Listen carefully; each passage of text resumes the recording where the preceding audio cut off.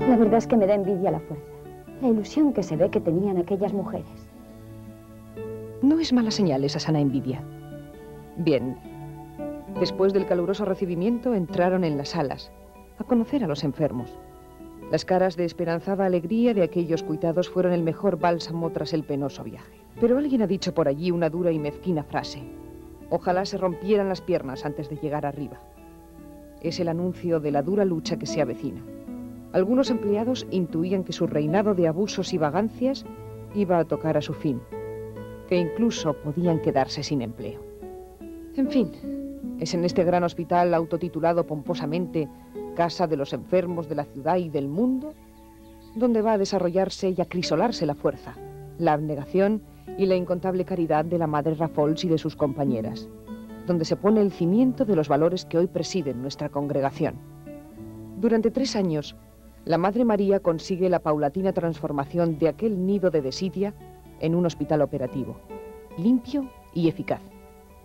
Con mucho ahínco, con mucha humildad y constancia, vence las numerosas zancadillas y erradica la picaresca. Los hermanos varones fracasan y desaparecen de la vida hospitalaria. Quizá no eran los adecuados, o quizá los hombres responden peor a estas ingratas labores. Deja, deja. No me hables de los hombres. vale, vale. No te volveré a hablar de los hombres de momento. ¿Qué quieres decir? Nada. Cada cosa a su tiempo. En 1808, el conde de Sástago, decano de los regidores del hospital, llega a decir que con estas mujeres es fácil gobernar un hospital, sin ellas muy difícil.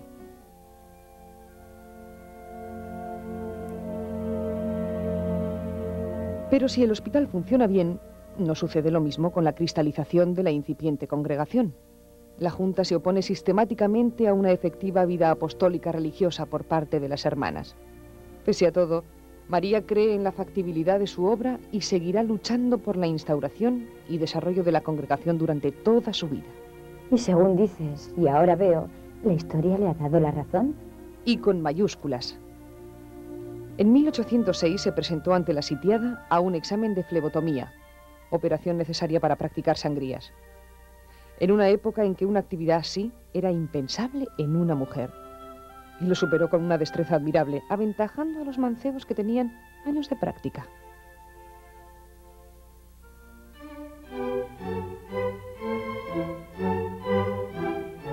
Mención aparte merece la Hermandad de Huesca.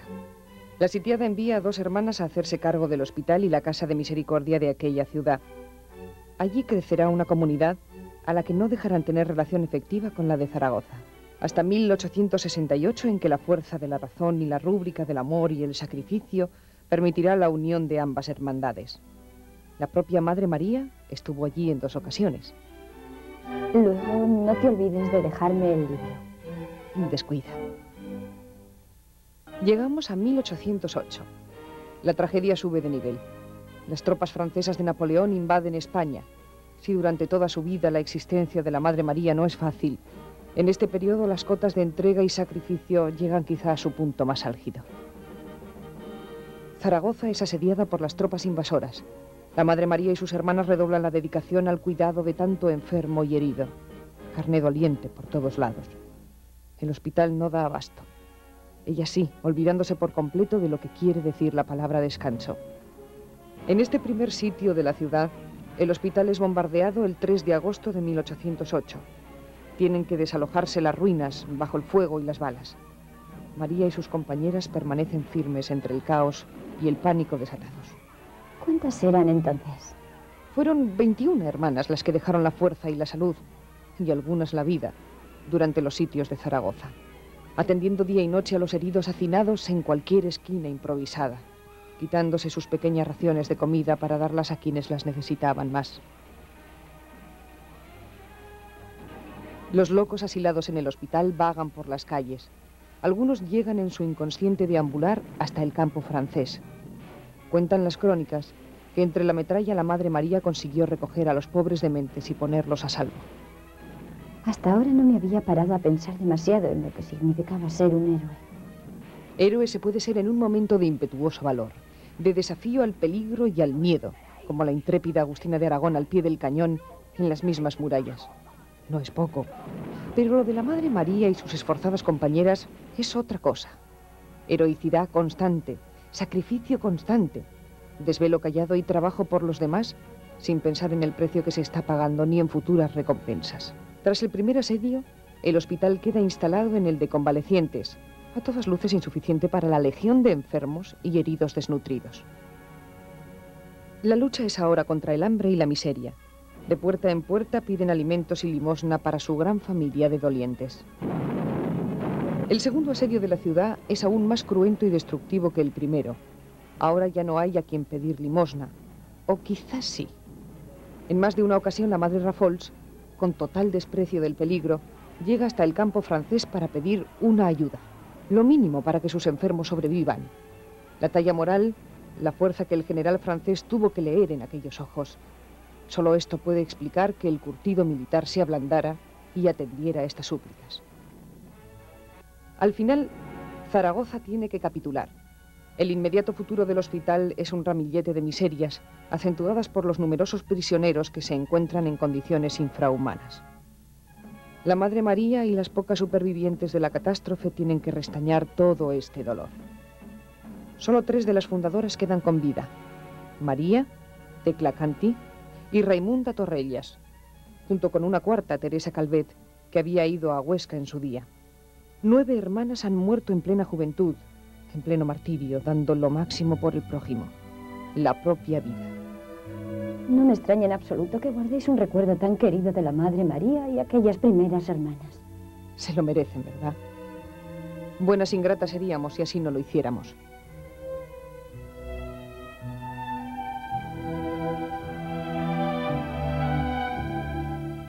Después, en 1811, una nueva sitiada preside el hospital. La apellidaron Afrancesada. O sea que imagínate. En España se dicta un decreto de supresión de comunidades religiosas. El sueño de conseguir una congregación como Dios manda está otra vez lejos de la Madre María. Se les imponen unas constituciones que nada tienen que ver con los proyectos originales. La sitiada tiene un miedo acérrimo a que la hermandad adquiera autonomía. Quieren evitar todo lo que a ellos les huele a fortalecimiento y en sus estrechas miras a poder. El pobre padre Juan es alejado del hospital todo el resto de su vida lo pasará como limosnero extraordinario, dejando la vida por los caminos, siempre al servicio de Dios. Alegando motivos de salud, buscando otro camino para oponerse a las injustas directrices de la sitiada, la madre Rafols dimite como superiora. Un año después se nombra para sustituirla a la madre Tecla Canti, que como te he dicho era compañera desde los primeros días. La Madre María buscaba que le dejasen seguir desarrollando su labor en paz y armonía, pero es en balde. Desanimadas, comienza un éxodo de hermanas que buscan la realización de la vocación religiosa en conventos y congregaciones, pues en la hermandad ya no parece posible.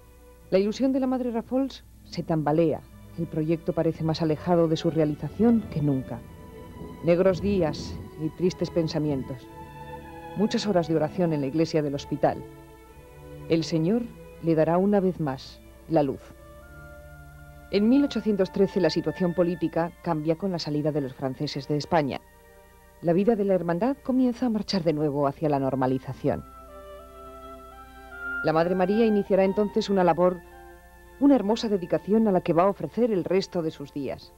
El cuidado de la inclusa del hospital, el consuelo a los más necesitados de atención y amor, los niños, los niños abandonados. Al principio es un departamento dentro del mismo hospital. Luego se traslada al vecino convento de la Encarnación. El número de niños expósitos es elevado y cada año crece. Es este uno de los departamentos más duros y que requiere mayor cuidado de las secciones del hospital. Muchos niños morirán entre los acogedores brazos de la Madre María, pero también muchos otros recuperarán el tesoro más hermoso de la infancia, su risa, si hasta entonces la madre Rafols ha derrochado entrega, amor y caridad, Ahora esos conmovedores destinatarios de sus desvelos harán que su fuente de amor sea todavía más caudalosa, si esto es posible. Pero, ¿qué te pasa? Estás llorando, Montserrat. No es nada. No me hagas caso. Lo de los niños me ha conmovido y me acordaba de mi hija. Bendita seas.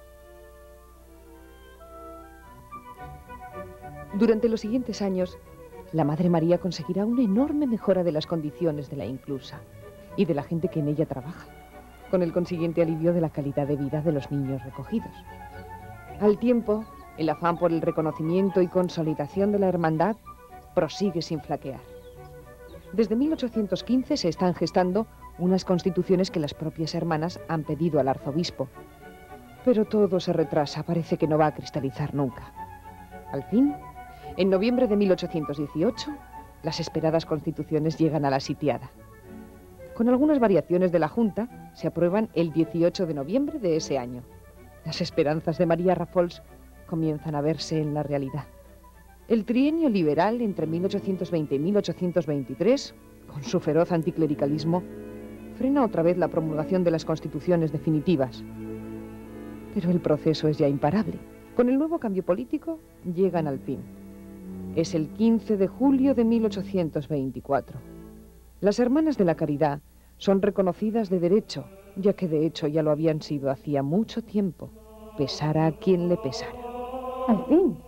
Tuvo que ser una gran alegría para todas ellas, después de haberlo esperado tantos años. Recuerda lo que te dije al principio. No hay que perder la esperanza.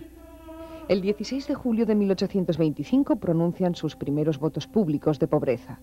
Castidad, obediencia y, claro está, hospitalidad. Trece hermanas avanzan con la vela encendida.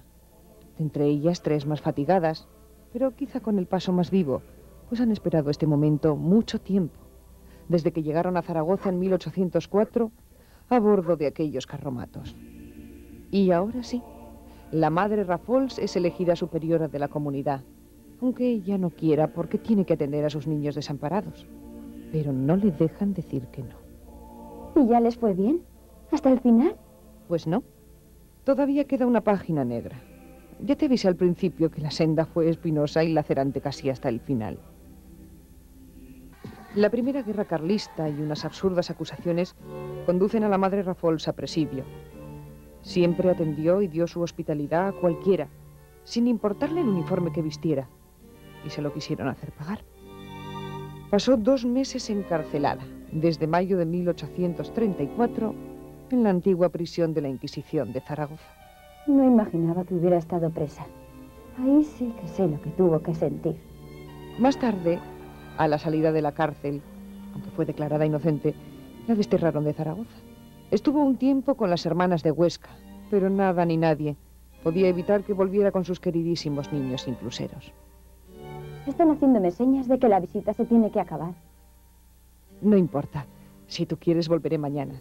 Y todos los días hasta que salgas de aquí.